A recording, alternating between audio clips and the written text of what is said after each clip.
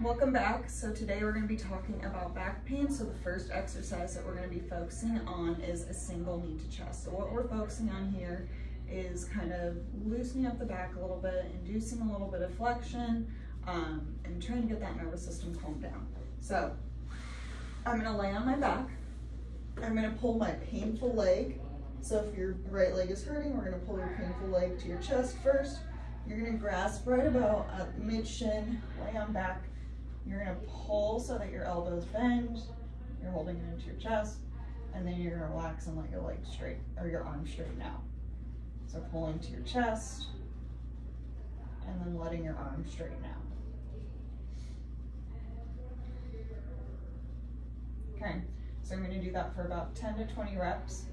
I'm gonna let my right leg go down, and then I'm gonna drop my opposite leg, my left leg, and I'm gonna pull to my chest, hold it there, and then relax.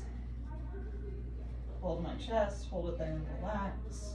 Let those arms straighten out. And we're gonna do that for 10 to 20 reps as well. Um, it's okay if you feel a little bit of symptoms. The goal is just to help you feel a little bit better.